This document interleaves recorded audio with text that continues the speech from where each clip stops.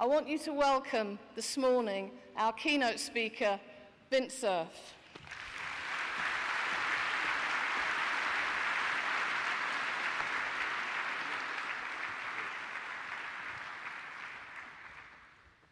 Well, good morning, everyone. Am I audible in the back? The, the, usual question is Can you hear me back there in the rear? And of course, the correct answer is no, we ain't built that way. Um, sorry about that, minus two. First of all, uh, this is a particularly lovely opportunity to return to Paris uh, to um, participate in this amazing uh, conjoint pair of important conferences ECRC and CHI. And I'm particularly honored that I happen to be serving as president of ACM at this time. Uh, this is the first time we've uh, had this scale of, uh, of combinations of uh, conferences. I understand some 3,400 people uh, have registered. Uh, 2,000 papers submitted to CHI, of which 400 were accepted. Uh, and I don't know the statistics for ECRC, but I imagine that they are uh, um, probably comparable. It's certainly seeing all of you in the room this morning is astonishing and very, very satisfying. I think one of the most important things uh, that we can learn from uh, this kind of conference is that the casual interactions that you have with each other may be as important or more important than anything you might hear uh, in a plenary session like this. So I want to encourage all of you uh, to continue to pursue those connections, meeting old friends and making new ones, and helping to progress the understanding of computer science uh, in general.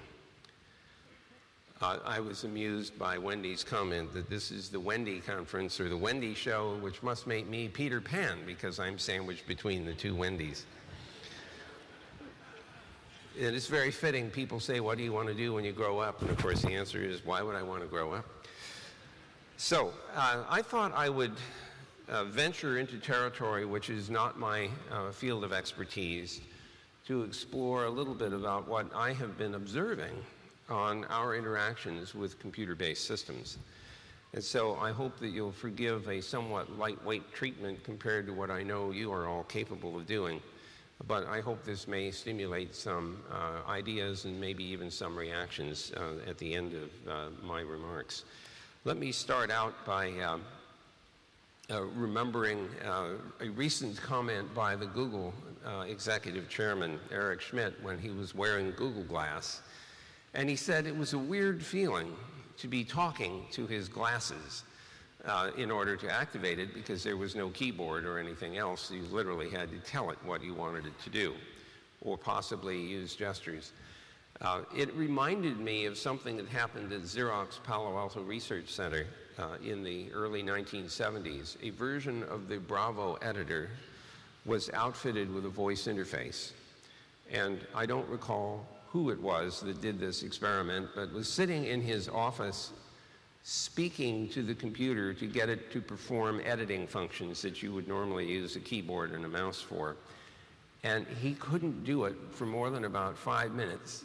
And then he came out and he said, I feel kind of like an idiot because I'm in this room all by myself saying open, insert, delete. And it's an odd kind of conversation to be having, and he, did, he was very uncomfortable. I think Eric's comments reflect a little bit of that. What that suggests to me is that we should be shooting not for commands and command recognition, but for real conversation. And I think many of you uh, are already pushing the edges of what is possible in terms of engaging in a two way interaction with computer based systems in order to explain what it is you want to have done.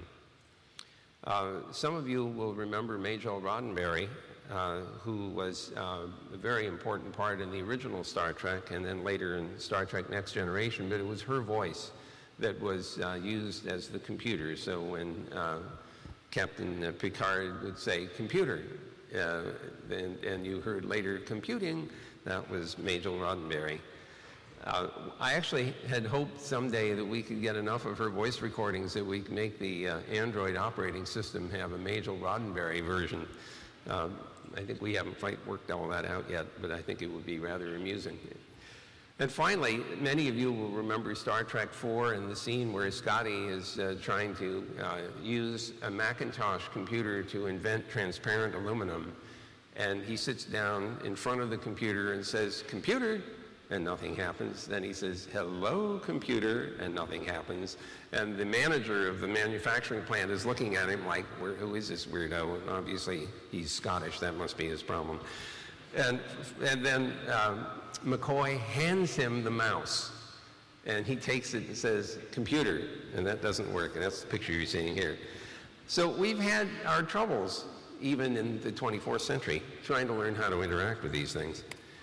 Here's another one. Um, this is Larry, uh, uh, Sergey Brin wearing uh, Google Glass.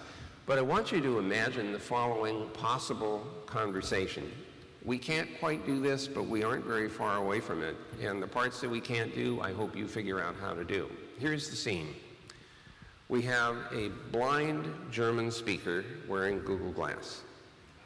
We have a deaf ASL signer wearing Google Glass, and they're trying to communicate with each other. Well, let's begin with our uh, blind speaker who speaks in German and says, Guten Morgen, uh, ich heiße Windsurf.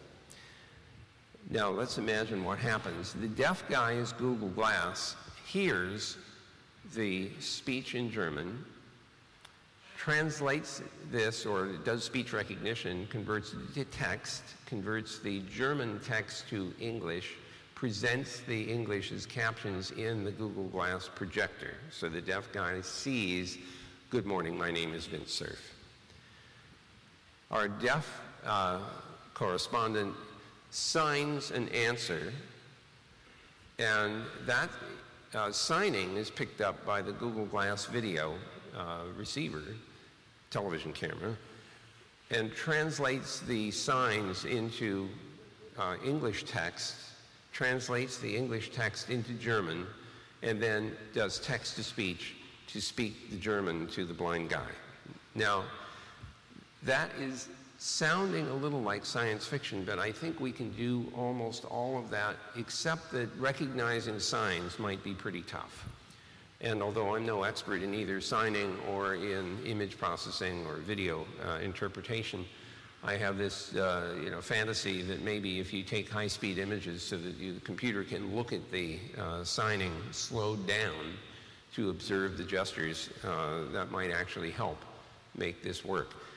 But the fact is that we aren't very far away from being able to do things like that. Um, for, for me, in a way, this is like the definition of engineering, which is translating science fiction into reality. And that's what I think many of you have been doing for many of us for many years. So the other thing which uh, I think is uh, a part of this equation is the idea that we put computers into the same sensory environment that we are in so that they share with the same sensory inputs that we have. It's pretty clear that computers can hear with microphones. They can see with video cameras with varying degrees of uh, resolution. Uh, it's even possible to imagine that we could outfit our hands or other parts of our body with haptic response devices so that when we make gestures or when we do or say something, if there's a tactile response, we could, it could be uh, made uh, apparent to us so that the computers can actually help us sense a tactile uh, response of some kind. And I think we've seen uh, some interesting experimental gear that tries to outfit people with haptic interfaces, you can imagine uh, in, a, in, a, fantasy world the possibility that uh, a surgeon who's performing surgery on a patient whose, uh, whose body has been uh, high resolution MRI scanned so that the uh, operational uh, surgical area is well understood, the system could actually prevent the surgeon from going to somewhere where his scalpel should not go. Now that's uh, not quite realistic, but it is uh, something you could imagine trying to do. In fact, people at SRI International, uh, I think, pursued that particular idea some time ago. So we have these many different ways of helping the computer engage with us. And I think what's very important is that we are helping the computer become part of the context in which we're interacting uh, in the world. And that allows it to make relevant kinds of responses, to add information, to augment reality, to borrow a term. Uh, and I'm very excited about that because I have the sense that we're at a point now where there's enough computing power where if necessary we can export the need for computing power into clouds using wireless communication and the internet so that some of these applications are, are now feasible. They don't have to all be executed by the mobile that we're carrying in our hands or in our pockets, but we can engage all of the computing power that's available on the net as well. Uh, the 3D environments are also equally interesting, although anyone who's a Star Trek fan like I am, very disappointed with the quality of the caves that we can build today. I mean, they're not palpable, but maybe the haptic interfaces can, uh, can uh, improve that possibility. I do wonder about the following uh, scenario, though. Can you imagine someone wearing one of those 3D headsets, you know, it covers your entire face, and as you move your field of view, the, the image that you see changes in order to give you the sense that you're walking around in a three-dimensional space, and you could even imagine having it uh, sufficiently uh, sensitive to motion that you could walk around and actually look at things that are in the field of view. But imagine that the intent now is to have a, a, um, uh, video kind of exchange with someone who is also in that same three-dimensional environment. Maybe this is uh, a 3D presentation of a uh, blown up photomicrograph, or maybe it's a simulation of some kind, and you are walking around inside the simulated view having a discussion with each other. The thing is that if you actually took an image of what you look like while you're wearing this thing, what you would see is not the person's face, but this really bizarre looking Darth Vader helmet that they're wearing. So that doesn't work. And I don't quite understand how we're going to do uh, the kind of typical video conferencing we do today with things like Google Hangout or Skype, uh, we're going to have to create a false avatar of what you actually look like because we can't actually put a camera on you wearing your Darth Vader helmet. So I'm not sure how that, that's going to get solved, but you can almost predict what will happen. A business will be created for creating avatars for you to look better than you really do to the party that you're uh, interacting with. Uh, another thing which I just read about and perhaps even has, uh, has been uh, demonstrated uh, here uh, is what Carnegie Mellon has been doing by projecting uh, images onto available surfaces. Some of you will also remember the work at MIT Media Lab called Sixth Sense in Pattie Maes's group. the idea is that any surface could become a display area and more important, any interaction that you have with that surface, gestures that you make uh, in the neighborhood of that surface could be recognized by the machine. And so once again, we are partnering with the computer in order to have it help us uh, carry out some function, and it is conscious of the context in which we are doing this. Many of you will remember Mark Weiser, who wrote uh, about and spoke very passionately about this notion of ubiquitous computing where the computing functionality simply disappeared into the environment. You didn't actually see things as computers, as display screens, as mobiles, or anything else. Everything had a computer-based capability. It had some ability to either display or to articulate or, or uh, speak or otherwise indicate uh, the state that it was in and maybe indicate a response to something you wanted it to do. But, but uh, we are, as we approach that environment, we have to uh, imagine that it's a very different kind of world. Our cognitive sense of being part of a computing environment changes from I'm sitting in front of my laptop, I'm holding my mobile, to simply being surrounded by a room full of equipment and the room itself being fully capable of computing, communicating, and interacting. So this leads me to observe that we are already uh, approaching this vision that Mark Weiser had devices that uh, I never anticipated in you know, 30 or 40 years ago would be part of the internet environment now are things like a refrigerator uh, or a picture frame uh, or uh, a mobile, which in the 19, in 1973, the only guy that really knew what mobiles, what was possible with mobiles was Marty Cooper. Uh, and it took him 10 years from 1973 to 83 to get to the point where that big Motorola brick was finally functional. It was, uh, I didn't realize what the dates were until recently, and ironically, that's in parallel with the internet. Bob Kahn and I started the work in 73, and we couldn't actually turn it on and, and release it into operation until 1983, so somehow the mobile and the internet have been par paralleling each other historically for all this time. Um, then there's uh, the guy in the middle with the internet-enabled surfboard. I, I, don't know him, but I have this image of he's sitting on the water thinking, you know, if I had a laptop and my surfboard, I could be surfing the internet while I'm waiting for the next wave. So he put a laptop in the surfboard and he put a Wi-Fi service back in the uh, rescue shack, and now he sells this as a product. Uh, I've already mentioned Google Glass, and how about, I used to tell jokes that every light bulb in the world would have its own internet address. And now I can't make jokes about it anymore because recently someone sent me an IPv6 radio-enabled light bulb. It costs about $20. It's an LED bulb. It probably will last about 15 years, so the price is actually not unreasonable. The cost of putting in the radio and the IPv6 is about 20 or 50 cents or so. So it's not an unreasonable uh, uh, initial or additional cost. And of course, you can now control the bulb, bulb remotely or you can sense what its current state is. Of course, uh, access control now becomes an issue because you don't want the 15-year-old next door to reprogram your house while you're away. So those of you who care about security will uh, surely be interested in that. Um, so I think we have a variety of 21st century experiences to uh, anticipate or to already talk about. Uh, in the case of the internet-enabled refrigerator, uh, some of you will, will know that my uh, fantasy there is that everything that goes into the refrigerator is carrying an RFID tag so the refrigerator knows what it has inside. And that way, while you're off at work or at school or something, the refrigerator is, is surfing the internet looking for recipes that it could make with what it knows it has inside. So when you get home, you see a nice list of things to have for dinner on the display. Uh, you could extrapolate this to going on vacation and getting an email. It's from your refrigerator uh, you know, it, I don't know uh, how long the milk has been in there. Oh no, the milk has been in there for three weeks and it's going to crawl out on its own if you, uh, if you don't do something about it. Of course, the Japanese have messed this up a little bit because they have an internet-enabled bathroom scale. And you, you step on the scale and it figures out which family member you are based on your weight and sends that information to the uh, doctor to become part of your medical record. The bad part is that the refrigerator is on the same network. And so when you get home, you see diet recipes coming up on the display, or maybe it just refuses to open because it knows you're on a diet.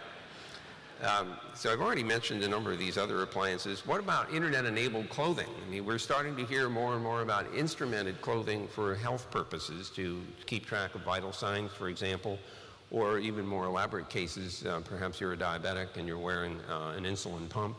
Uh, there are uh, devices and programs that are made now to track at, at very fine grain uh, the blood uh, sugar level of someone uh, with diabetes so that now you can see uh, what the um, body state is over uh, at fine grain over a course of 24 hours, for example, as opposed to only getting samples once every few hours or maybe even only once a day.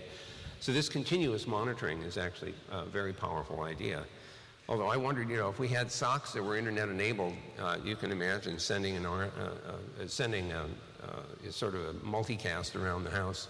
If, if you can't find the sock, and you get back a little note saying, "Hello, this is sock L144. I'm under the sofa in the living room." So we've solved the problem of missing sock, which I consider to be a, you know major contribution to society. But there are, you know, we should all feel responsible for the consequences of our uh, technical implementations and designs and inventions. Um, imagine that um, in a different scenario, uh, you, uh, you call home and you say, uh, hi, honey, I'm going to be working late in the lab tonight. And there's a pause, and uh, the spouse says, well, that's very interesting, sweetheart, but your shirt is down at 19th Street at the bar. So maybe this internet-enabled clothing is a really bad idea, and we should not foist that on, uh, on the community. What about entertainment equipment at home? Uh, if you're like me, you have a lot of boxes, and you have remote controls for them, every one with a different little IR gadget, and you fumble around trying to figure out which one is the right one, and when you finally get that figured out, that's the one with the dead battery. So my proposal is to put all the entertainment gear on the net. Use your mobile on the net as the uh, device to control them all, and more important, once you introduce that kind of a, a standard interface, third-party companies could offer to you the ability to manage your entertainment equipment, put the movies on the right places, put the music on the iPods and so on. And all you have to do is go to a website and check on the things that you're interested in. This sort of standardization is a really powerful tool, and it's something that we should keep in mind uh, as we want to um, allow third parties to invent new ways of providing products and services to us. The Smart Grid program is another example of this where uh, electrical devices that consume uh, electricity uh, keep track of their usage and provide that information to you on a fairly fine-grained scale. So at the end of the month, you can see what choices in your lifestyle produce the, you know, 10,000 kilowatt bill that you got, as opposed to wondering what did you do to produce that. The other side of it is that these devices can also respond to information saying we're approaching a peak load with the air conditioners and the uh, water heaters, please uh, stop for the next 15 minutes. That's perfectly feasible as devices become more uh, computer and internet enabled. Uh, we could imagine a similar kind of thing about food and ecology feedback, uh, sensor systems that tell us uh, what our carbon footprint is. I've even seen an internet-enabled fork that will tell you whether you're eating too fast. You know, I think we're probably pushing the limits of something here, but you know, it, it's technically feasible to do that. And of course, there are the Google self-driving cars I understand that this fleet of some two dozen cars has now gone 400,000 miles in, in, the city of San Francisco without any accidents, except for one, and that was when the car was under control of a human being, not under control of the computer. But if you think for just a moment about how those things work, first of all, they're using LiDARs that are getting a 360 degree view uh, of everything, so they're paying attention more than we do when we're driving. Uh, they have video information, they have very high quality GPS, they have maps and everything else. They could even, not yet, but at some point they should be able to communicate with each other. So imagine when four cars come up to a four-way stop, they can negotiate to decide which one goes through as opposed to one of those macho moments when somebody shows up and insists on blasting through because, uh, you know, it doesn't matter who got there first, they own the street. So this idea of having cars that are capable of autonomous operation is pretty important. What I didn't understand uh, until recently, though, is that they are not absolutely autonomous in the following sense. Uh, they're constantly able to get information from the Google data centers and they're reporting information back. So uh, in a, a, kind of a silly example, imagine a car drives up to an intersection it's never been at before, but it knows everything that every other car has ever seen at that intersection and figures out that this is a tree because that's the thing that's always been there for all the other cars. So don't wait for the tree to cross the street because it isn't going to. Unless, of course, a human walks out from behind the tree, in which case you want to be very careful not to run over the human. But this notion of cars that learn from each other and become increasingly capable uh, is something that's is uh, very attractive because human beings often don't do that. So we might actually have cars that are smarter than we are in some sense, at least with regard to paying attention to the rules of the road. Uh, here's another example uh, of what I think is common. Uh, these are sensor networks. This particular one is a commercial product uh, from a company called Arch Rock, uh, which was acquired by Cisco Systems a couple of years ago. I have, this is an IPv6 radio-based self-forming network. Each one of the devices run on two AA batteries. They last almost a year. They are sensing the temperature, humidity, and light levels in the house. Every five minutes, they report their state uh, to a, uh, a server down in my basement. So at the end of the year, I actually have a very, very good engineering sense of how well the heating, ventilation, and air conditioning system has worked as opposed to purely anecdotal information. And having good engineering data is often very helpful when you're trying to uh, adjust for, in this case, the uh, heating, ventilation, and air conditioning system. One room in the house is the wine cellar, very important to me, and it's important to keep it uh, below 60 degrees Fahrenheit. And so that room is alarmed, and if the temperature goes up above 60 degrees Fahrenheit, I get an SMS on my mobile to tell me there's a problem. This has happened a couple of times when I've been away and nobody has been there to reset the cooling system. And so one time for three days, every five minutes, I got a note saying the wine is warming up. By the time I got home, it was 70 degrees in the wine cellar, which is, you know, not terribly damaging, but it worried me enough that I called the Arch Rock guys and says, do you make remote actuators? And they said, yes. So that's a weekend project to put in the remote actuator. And then I said, do you have strong authentication on this uh, actuator system because the 15-year-old next door, you know, I don't want him messing around with my wine cellar. So they said yes, and so that's all fine. Then I got to thinking, you know, I can actually tell if somebody's gotten into the wine cellar when I'm away because I can tell if the lights have gone off and on, but I don't know what they did in there. So my next project is to put an RFID tag on every wine bottle, and that way I can do an instantaneous inventory uh, on demand to figure out if any bottles have left the wine cellar without my permission. Um, and I was boasting of this design to an engineer friend. He said, there's a bug in your design. I said, what do you mean? He said, well, you could go into the wine cellar and drink the wine and leave the bottle. So now we have to put sensors in the cork. And as long as we do that, we might as well sample the esters to figure out how, you know, what's the state of the wine, is it ready to drink or not. So before you open the bottle, you interrogate the cork. And if it turns out that's the bottle that got up to 80 degrees, uh, that's the one you give to somebody who doesn't know the difference. So this is all very practical thing to have around the house. It's actually an, an, uh, an illustrative example, though, of having sensors, uh, environmental sensors, security sensors, uh, appliance control systems integrated into uh, both our offices and our residences, uh, in our cars, and, and possibly also on our person. So this is certain, certainly what's coming. Uh, so just to uh, look uh, kind of uh, lightly at 21st century experiences that I think we all have had or will have. One of them is the mobiles that have GPS receivers in them or are able to figure out where they are based on triangulation of the base stations. Uh, since they know where we are, or they can know where we are, then it's a well-formed question to say, where's the nearest gas station, where's the nearest Thai restaurant, please give me directions to get there, uh, or uh, please tell me when I need to adapt my um, uh, directions in order to get around traffic tie-ups and things of that sort. These things also facilitate all kinds of other transactions. So in some sense, these devices are becoming uh, extremely powerful adjuncts to our daily uh, activities. Uh, I've already mentioned the Carnegie Mellon work where uh, you literally project controls onto any available surface and you interact with them. But this raises a very interesting question, and I think that it's one that I hope occupies at least some of you, and that's the question of how to uh, adapt our social conventions in order to uh, make sensible use of the technology that we're developing. Let me give you an example. I believe that we inadvertently do things uh, to each other unintentionally because we don't fully appreciate the social implications of our actions. The example I would give you is the mobile phone, which is capable of taking pictures and uploading them uh, onto the internet and, and uh, making them available to the general public or to a small group of people uh, or anything in between. Uh, imagine for a moment that you've gone to Cairo and you're standing in front of the pyramids and you would like to have a photograph of yourself in front of the pyramids. So you ask someone to take a picture. And they do this, but there's another person who is next to you.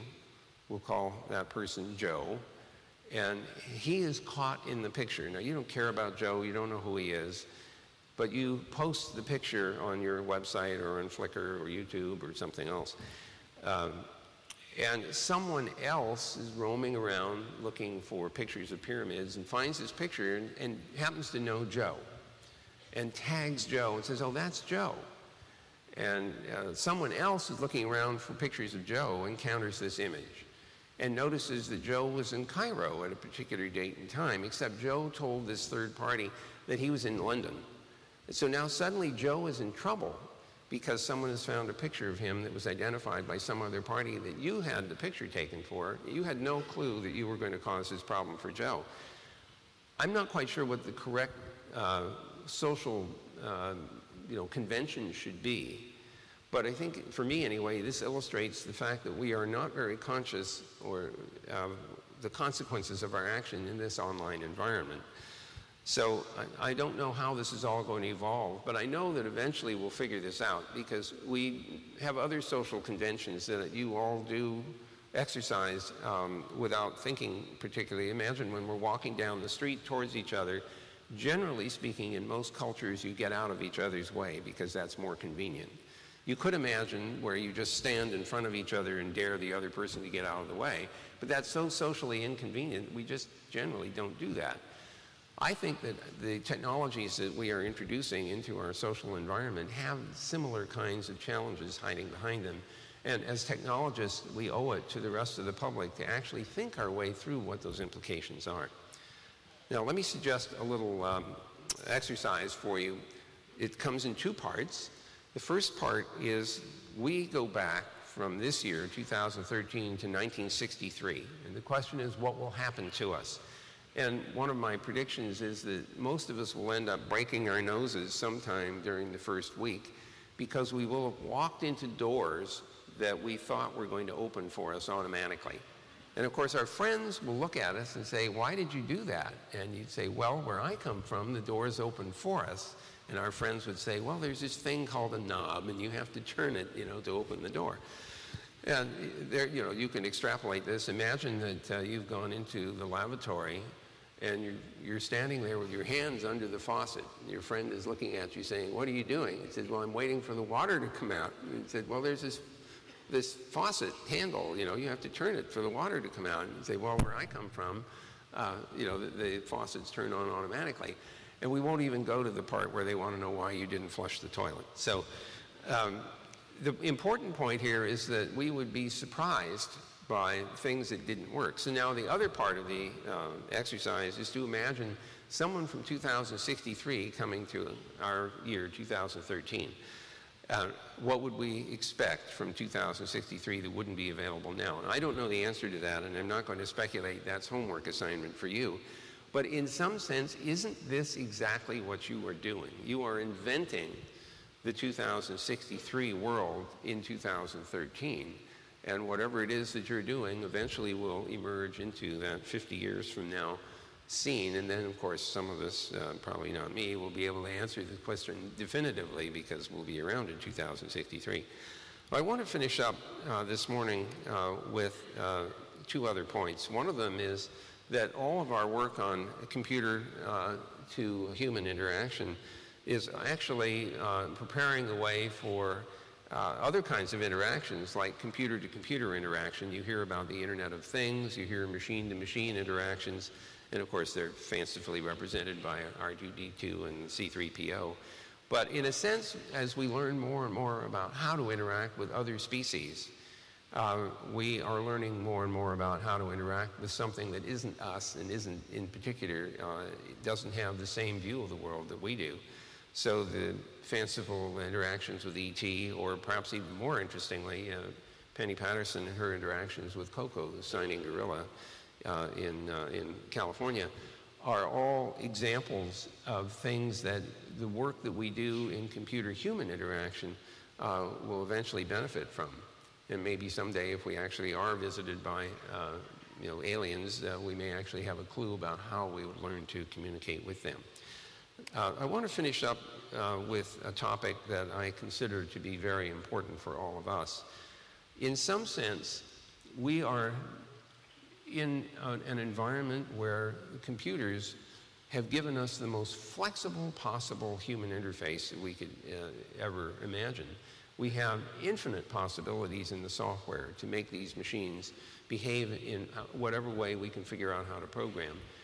And in spite of that flexibility, in spite of the richness of potential, we have not done a great job of making our systems accessible to people who have various kinds of disabilities. So I think it's a mixed bag. I think there are some very successful results, and there are other cases where we haven't done very well at all. And I, this is not my field, but I care about it a lot. I happen to be hearing impaired, and uh, I have friends who have other kinds of impairments, including visual impairments or even motor impairments. And all of them encounter difficulties interacting with the systems that uh, you and I uh, use and design. So we have screen readers, for example, but in a sense they, are, they struggle to present to someone who can't read the screen an in, some kind of uh, indication of what is on the screen and what can you do with what's being presented.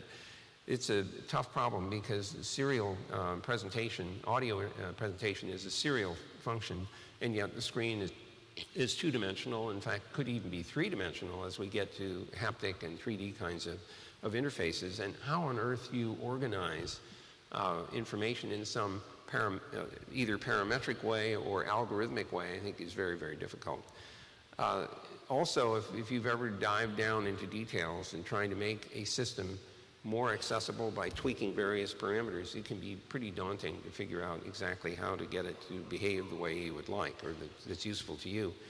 I think we need a stronger response than uh, purely parametric or purely algorithmic responses. I think those of us who design interfaces to applications should really be thinking from the get-go, how do I make this application accessible? Now, in order to really understand the answer to that question, or to fabricate the answer to the question, you actually have to understand something about the challenges that people experience.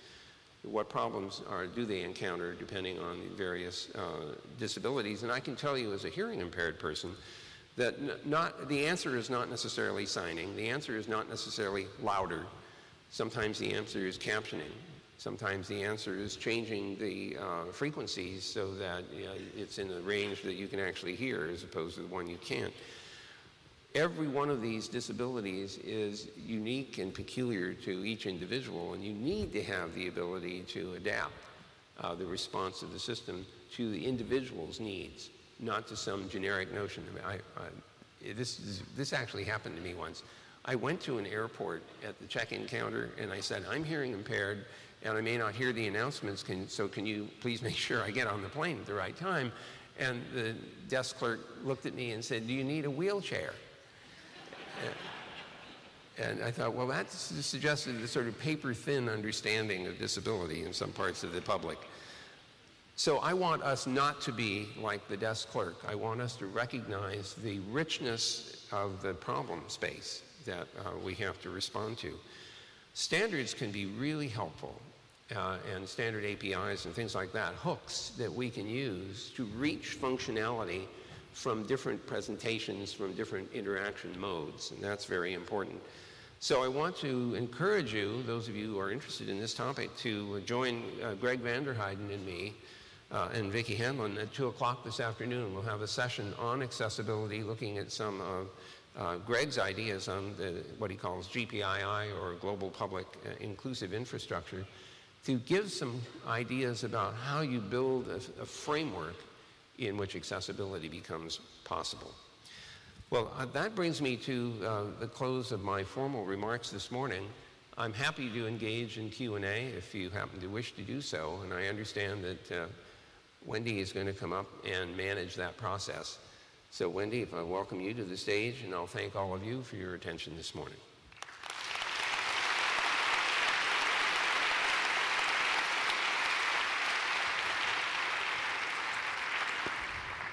Thank you very much. That was very interesting. Um, we've been collecting uh, questions from the audience. The student volunteers are going up and down the aisles and getting them on cards. I have quite a collection already. So I'm but, going to join um, you over here. You should come and join me. I see I they have the bottle of vodka waiting for us. That's very good. Here we are. This should make the session much more funny to me, maybe not to you. But. So we have several questions that are getting at some of the same kinds of issues, and so I'll paraphrase a little bit. Um, so there's one that I think is really interesting because you're a mixed audience between the human computer interaction folks who think a lot about a lot of these issues, and you'll see many of these things actually in the um, interactivity area just after this session. Um, and then there's the ECRC, uh, other conferences coming together here. So this is an interesting opportunity for us. So here, do you really think that the problem is to learn to adapt our behavior as human beings to the devices rather than the devices to human behavior or skills? And just one last piece. Yes. Do you really want to be programmed by your bathroom scale? well, I'm already programmed by my chief of staff, so you know it won't be a very big change. Uh, the honest answer is I would like the system to adapt to my needs, not the other way around. And I think we have relied extraordinarily heavily on human ability to adapt to our not so great interfaces. And so here, I think we have an opportunity because of the richness of these systems to make them adapt more readily. And I love the idea of having the computer being part of my sensory environment, engaging in the way I interact with other people. Right. i would like very much to have a conversation. Instead of typing search terms into the Google search bar, I would like to be able to either say or type a sentence or a paragraph even saying this is what I'm trying to find, or maybe this is why I'm trying to find it, or this is the problem I'm trying to solve, or this is the answer that I'm looking for.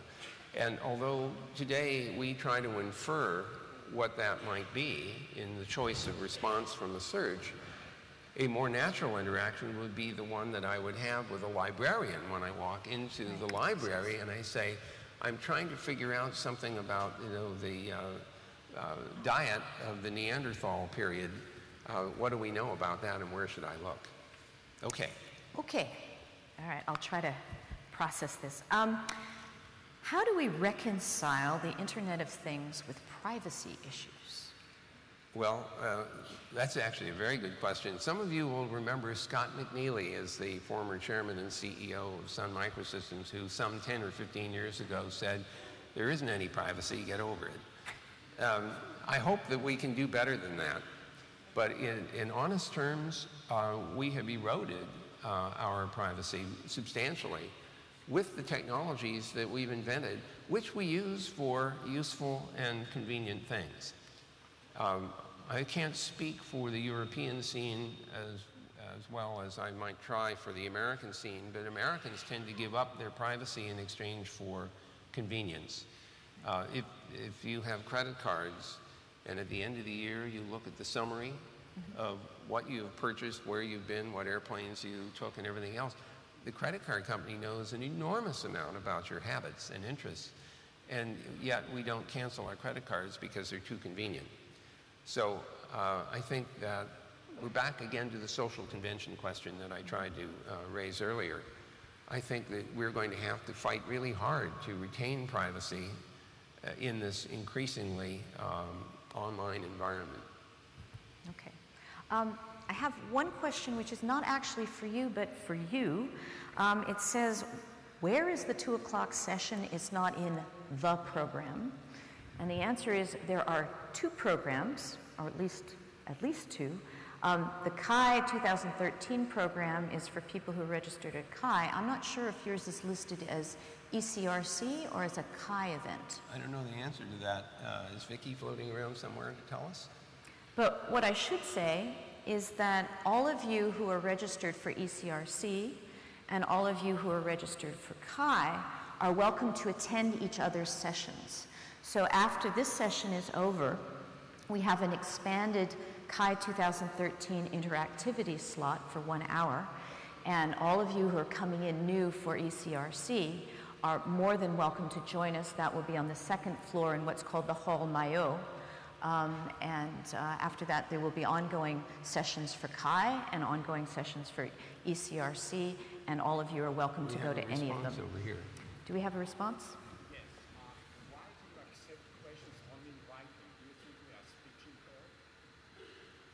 I'm sorry? Why do you accept questions only in writing? Do you think we are speech impaired? I certainly don't think you're speech impaired, but there is actually um, a long history of doing this. This is a CHI convention, and it's um, because people tend to make speeches from the um, microphones, and so there's a way of getting the Actually, speaker to do help, more of the speech. This helps me a great deal because I'm hearing impaired, and so having written questions has been very useful. So right. I'm the, I'm the excuse for okay. that, yes.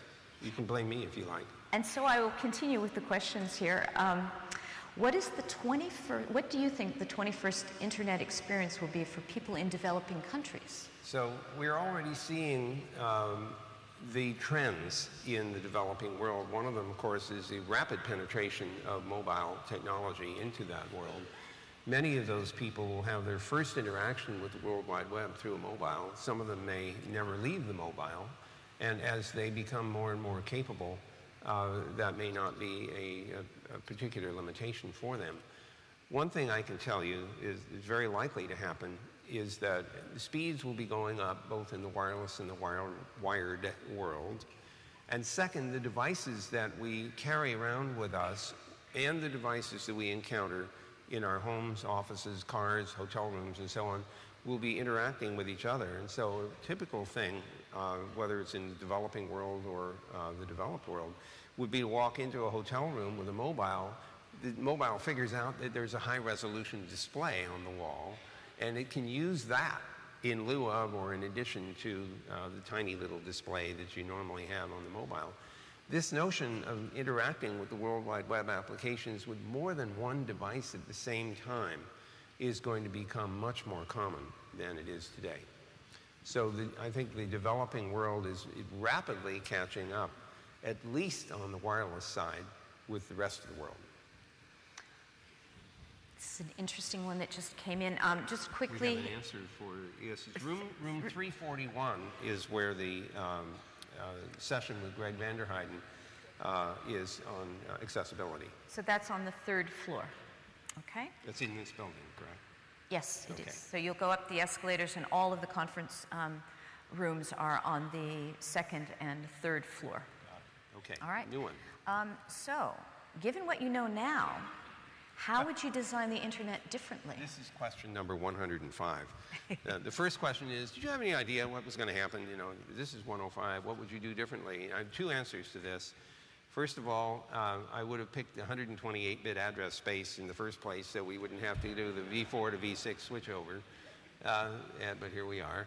And second, uh, I would have put in a lot more security than we uh, had initially if the technology had been readily available. And it was not. Here's the irony of all this. Bob Kahn and I started the work in 1973. First paper is published in 1974. We start implementation in 1975. We go through four iterations, split the IP protocol off from TCP. About 1978, we are at the point where we're solidifying the TCP IP protocols in detail. The previous year, my two colleagues, Marty Hellman and Whitfield Diffie, published their first paper on public key cryptography. And they didn't implement anything, they speculated about the existence of functions that would behave this way. It was sometime after that that the RSA algorithms and some of the other uh, variants uh, were implemented. So that technology arrived too late for us to inject into the internet design. So we went ahead with what was essentially a relatively unprotected environment. Some people will say to you, and I'm, I'm, probably among them, that if we had tried to concentrate too much on securing the system, we might never have gotten anything implemented or have gotten it to work. It might have been just too heavyweight, given the cost of the computers of the time and the very low bandwidths available to us uh, in, the, uh, in the networks. Uh, there's one other element of schizophrenia in all of this. In 1975, this is very early on in the evolution of the protocols, I started working with the American National Security Agency on the design of a secure version of the internet. And we had access to very high quality cryptographic capability. The trouble is, it was all classified. And so I couldn't share that information with any of my colleagues who didn't have clearances, and that was most of them. So uh, the result is that I've you know, had this very solid, uh, you know, secure system available, but only to the military and the rest of it. And of course, we're all living with the experimental internet, IP version 4, and we're only just now getting to the production internet in IP version 6. That actually is related to the next question, which I think um, is something, uh, an experience many of us have. So this person waited for 10 minutes for an elevator and then has had a, tr a, trouble getting the internet connection for the past 24 hours. Is this um, here in, in town? Here in town, in right? I, I, assume whoever wrote this question, I assume this is a slightly frustrated, hot off the presses kind of question. Yes. Um, how are we going to enhance the infrastructure support for all of these new interfaces? So if all this new stuff comes in and grabs even more of this, how do we, so, how do we handle that?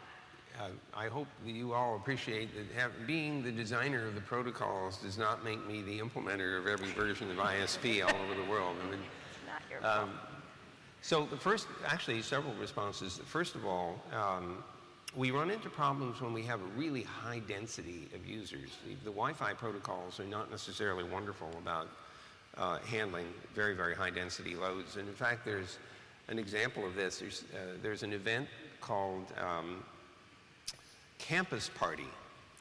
Uh, it started in Spain. It's been going on for about 20 years now. When I was first introduced to it, I thought it was about beer or something like that. It turned out it's about young people, 5,000 of them getting together to learn about programming and to learn from each other and from people who teach classes.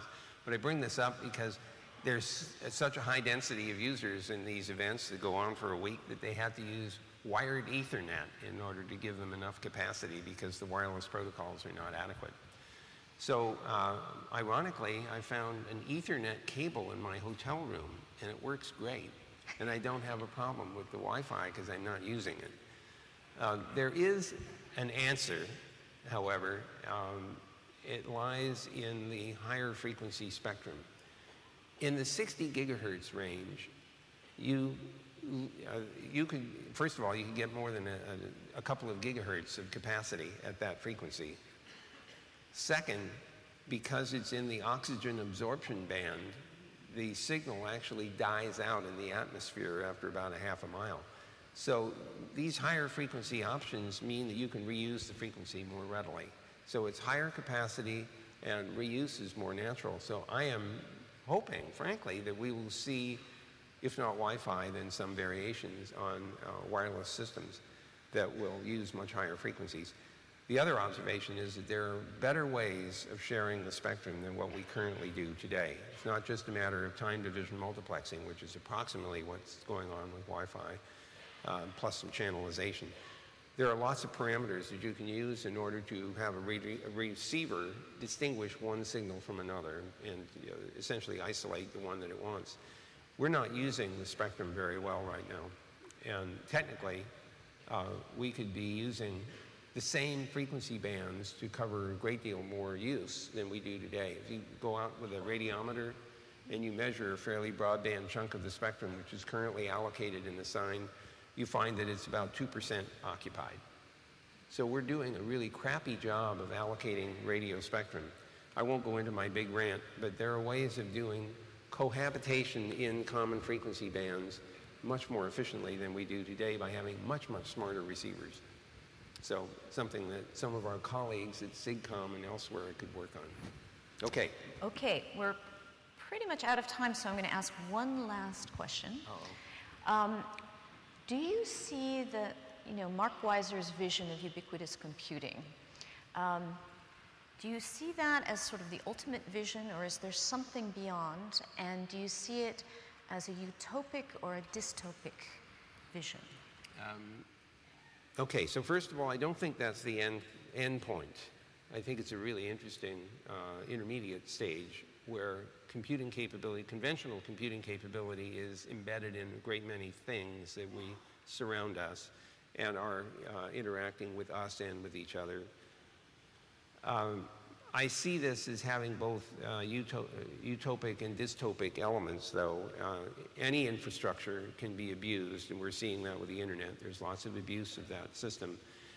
And the best we can do, since we can't absolutely prevent all of those abuses, is to try to resist them somehow, either by building better software that resists the bad stuff or detecting that somebody has done something harmful and telling them that that's socially unacceptable and there will be consequences if you're caught or just telling people don't do that because it just isn't nice.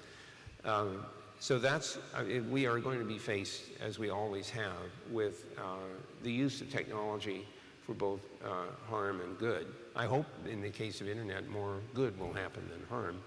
But I don't think it's the end point. And the reason I don't think that is that uh, we're already beginning to see um, biological computational capabilities showing up. I mean, the idea of having a self-organizing bio-based computing capability uh, is not crazy at all. And with Craig Venter's work on uh, creating artificial uh, life forms and on nanotechnology using DNA to assemble proteins that will fold in particularly useful forms or nanomaterials that have properties that don't normally occur uh, in nature. All of those things suggest to me that at some point the notion of computing will go very far beyond what we think of as a chip that performs binary operations into something substantially more complicated.